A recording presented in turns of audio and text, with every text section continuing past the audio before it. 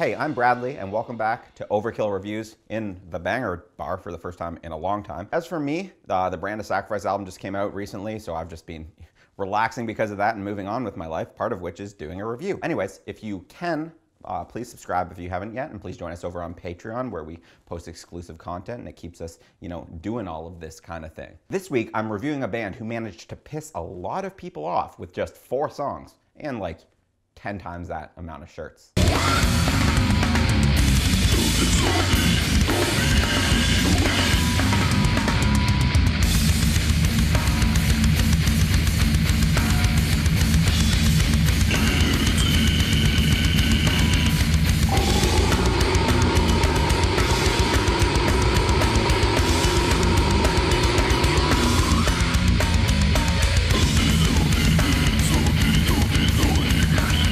Well, the song total is higher now. It's like maybe quadrupled, but the number of shirts is higher too. Even even still, for the, for the record, I don't think there's anything wrong with a band monetizing their art. Anyway, it's the new album by Sanguisugabogg called Tortured Whole out today on Century Media. The embryo from which Sanguisugabogg was born started in 2017 in a flooded Ohio basement where guitarist Cameron Boggs was under like this acid trip. So the music evolved from, you know, black metal to more death metal, and the band's career really kicked off in 2019 in July when Pornographic Seizures EP, demo, whatever, came out on Maggot Stomp, and the hype has been uncontrollable ever since. So this being their first full length, the pressure has been building and building in their monstrous cocks. And it's just, will they be able to relieve that or are they just gonna explode? Plus, they tricked the whole world into saying tortured whole.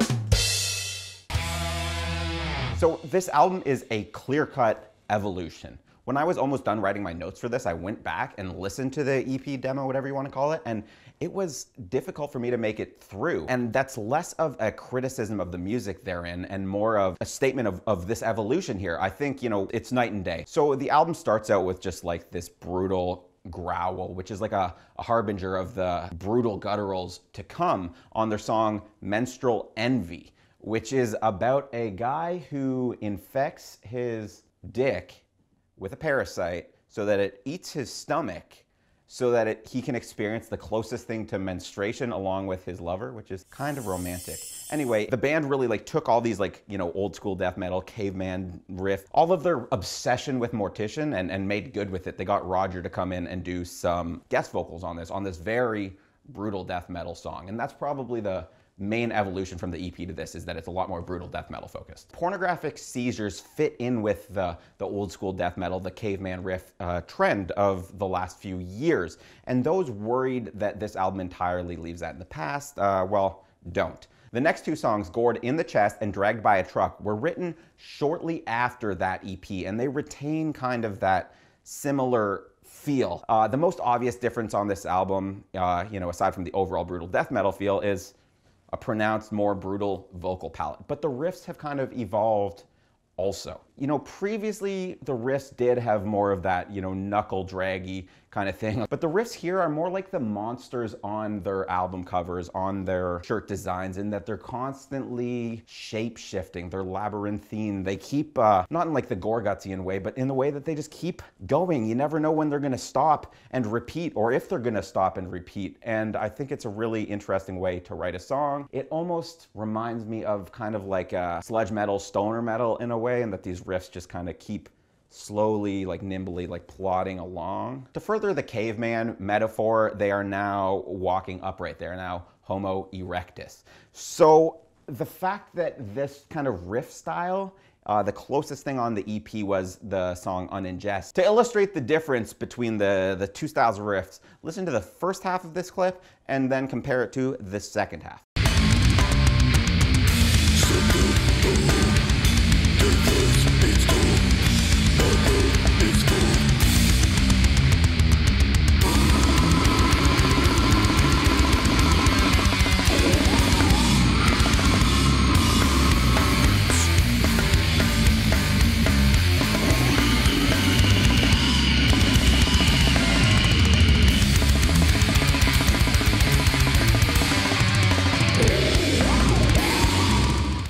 Hear how the riff, you know, at the start kind of repeats, and then in the second one, it and then repeats. So that's that's what I mean with these labyrinthine, ever evolving riffs. And that song is about fulfilling a dead guy's wish by uh, ejaculating into his butthole and eating your own semen out of it.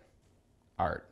So yeah, the lyrics on this album get pretty ridiculous. And that was one of the main criticisms, you know, in addition to the they have so many shirts but not a lot of songs that were that was levied at the band.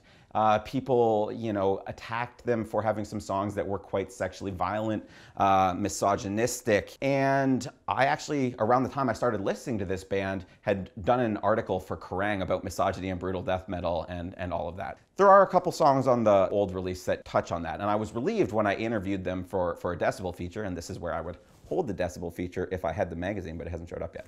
But they told me that basically they recorded those vocals in their first practice, I think it was, they wrote and recorded the vocals, and Devin had just watched the movie Baskin, so Turkish Blood Orgy is about that. So it's uh, more circumstantial, less uh, indicative of their feelings, thankfully. Uh, actually, another thing that they told me is that they really wanted to, or Devin really wanted to combine homoerotica and like brutal death metal, which kind of disarms the argument that a lot of these like brutal death metal heads have about the whole censoring thing with this, where they say like, oh, brutal death metal is supposed to be dangerous. Uh, newsflash, writing about the same thing that you've written about for the past, you know, couple decades, uh, killing women is not a very dangerous thing. It's just kind of uh, blasé and passe, and and that's you know putting it lightly. It's also could be you know considered very offensive. Now murdering those kind of people who are so hung up on the fact that the music has to be about killing women yeah, maybe to the fact that they have some other stupid views, like maybe they're homophobic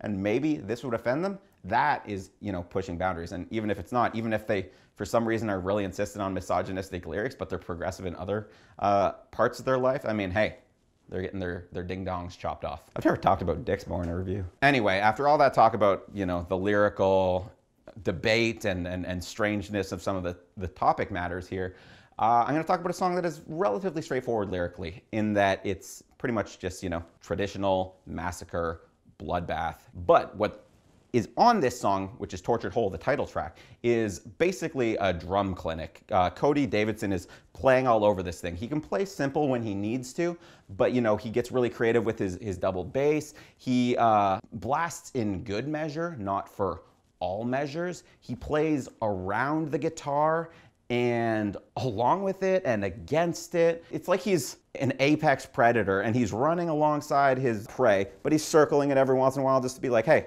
I'm still in charge. In the clip that I'm about to play, he ravenously rips a pocket in his prey and then he just plays around in the pocket.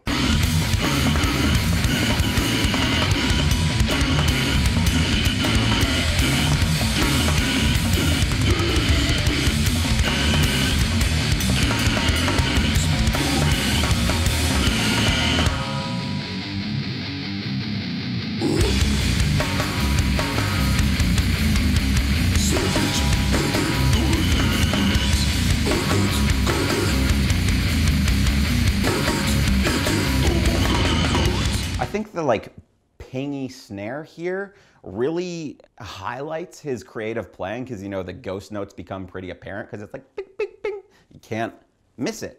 And the cymbal play and you know he switches cymbals and it's just really inspired. And overall, the ending of this clip and this song as a whole feels like a combination of everything in this song, but somehow feels understated, but also played to its maximum. It's this really weird mind fuck. And, and honestly, I think the album succeeds so much because it is a combination of so much. The brutal death metal elements really fit in nicely with the old school death metal elements.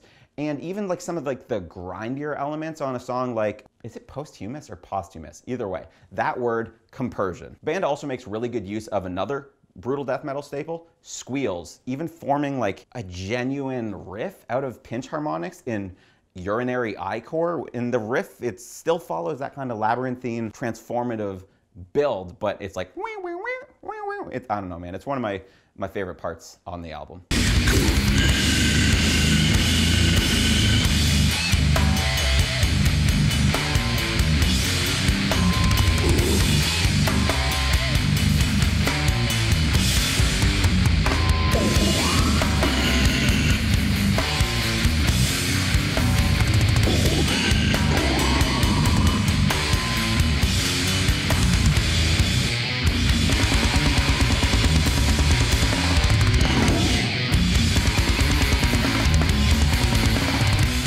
Plus that blasty section, come on. I really love the, the start and stops with the drums. Also, this song is about God getting a UTI and pissing blood over the world, which starts the apocalypse. Anyway, I could talk longer about all the good stuff on this album, but I gotta talk about the bad.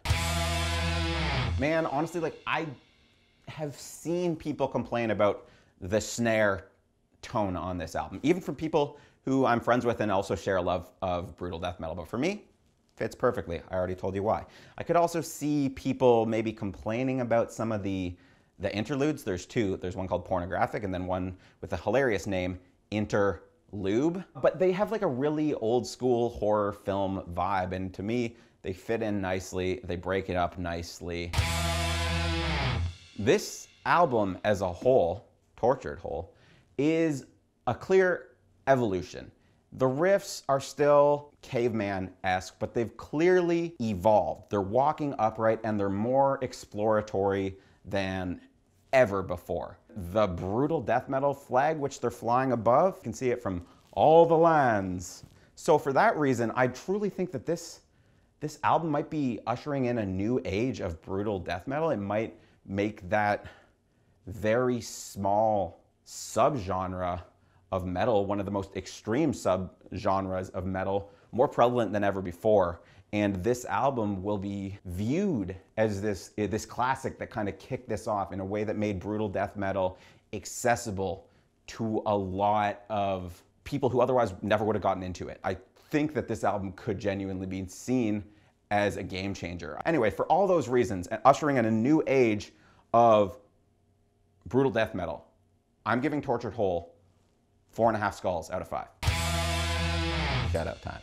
First up, we have Genghis Tron and their album Dream Weapon out today on Relapse. These dudes like really combined like electronic and grindcore into this sound that some dubbed Nintendo core. This is their first album in like 13 years. And despite the fact that they replaced their drum machine with a drummer, Nick uh, from, from Baptist and Sumac, there are no blast beats or significantly less blast beats and grind elements here, but it's really interesting, dreamy stuff. Next up, we have Sleep Terror and their independently released album, Above Snakes, which is out today. I remember this band from like their 2006 album, Probing Tranquility. It was a solo project back then by this guy, Luke Jaeger. He's still in the band. It's like this, you know, instrumental, progressive death metal, just mind fuckery. You know how a lot of instrumental music is like good music for studying or chilling out? This doesn't feel like it would be good for that because you're just gonna be like, Phew. All right, next up, we've got the band Kill the Con Man and their album Operation Just Cause, out today on Riot Ready Records. Metallum labels this as like melodic death metal slash grindcore. No, it's grindcore. It's fun, it's fast, listen to it. There's politics and shit. Up last, I've got Bonecarver and their album Evil, which came out on March 5th on Unique Leader. And I just really wanted to highlight this one because I've been listening to it a lot in the same way that Sanguisugabogg are going to get more people into brutal death metal. I think that these guys could as well, but coming more from the deathcore side of things, they've got just like the perfect amount of pig squeals here. So thank you very much for watching. You know, do all the typical YouTube things, do the thumbs up, do the subscribe, do the bell, go to our Patreon if you can. We appreciate you. Thank you so much for watching and I'll see you next time.